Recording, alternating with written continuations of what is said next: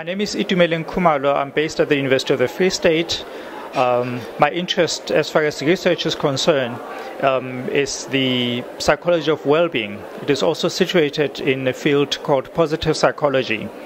What we specifically do um, in this context, or where we find ourselves, is to carve out um, something that um, ought to resemble at some point um, what we will call Africa centered uh, positive psychology.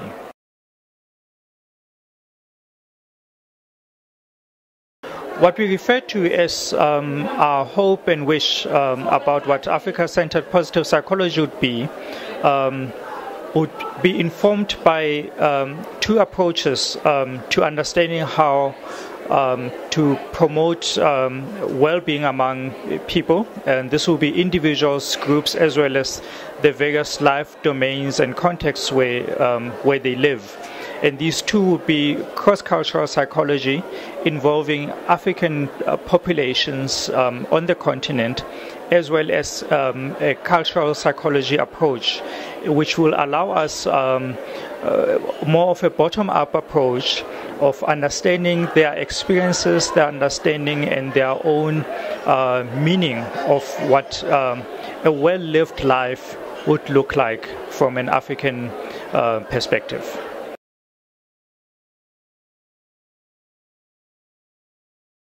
Well, there has been um, various accusations, perhaps uh, true or not, um, that everyone else from other parts of the world have been more reactive um, or even reactionary uh, about um, this this field and, and the study of um, how how well we ought to um, to to live.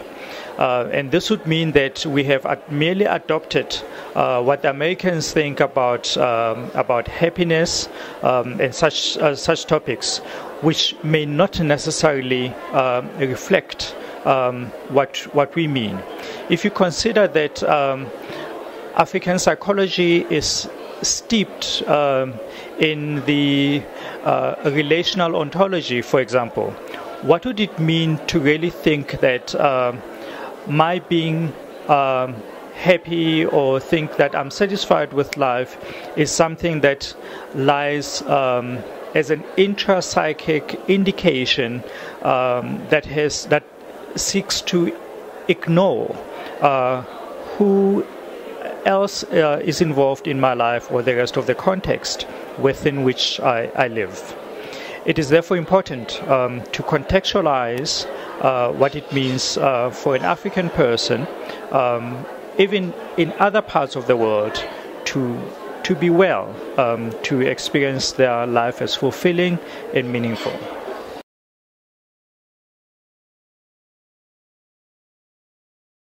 Well, currently, um, as with a lot of um, psychology research at the moment, um, our area of work is is deeply um, data driven. So there's a lot of um, empirical research going on um, that is almost very positivistic in nature.